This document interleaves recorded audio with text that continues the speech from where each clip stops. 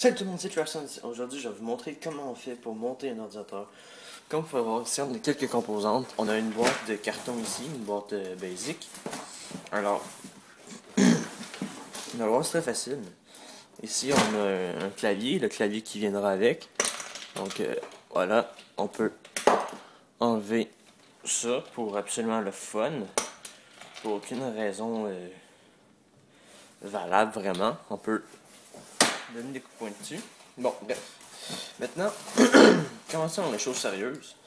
Donc, on a, euh, on a besoin, bien entendu, d'un boîtier d'ordinateur. Donc, euh, juste. Voilà, on a besoin d'un boîtier d'ordinateur. On a besoin d'une carte mère. On a besoin d'un lecteur.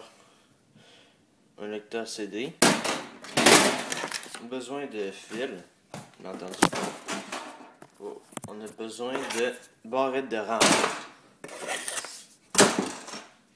On a besoin d'une carte son. Euh, une carte, je sais pas trop quoi. On a besoin d'une. On a besoin d'une d'un CPU cooler.